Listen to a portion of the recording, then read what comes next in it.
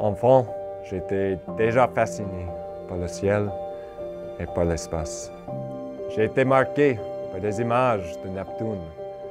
La sonde voyageur d'eau venait d'atteindre la planète.